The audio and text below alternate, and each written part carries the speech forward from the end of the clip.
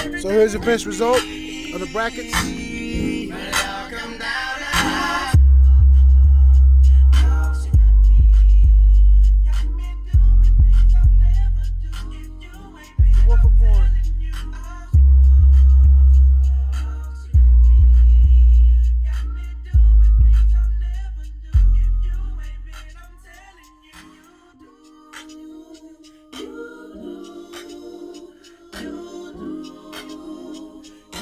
I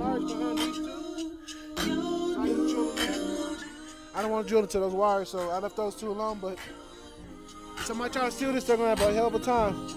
These are pretty long bolts I have in here. So by the time I should be outside whooping that ass. That's so beautiful.